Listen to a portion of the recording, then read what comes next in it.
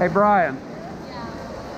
Could you go get me the other spare battery? The two we got didn't charge. They're both registering 6%.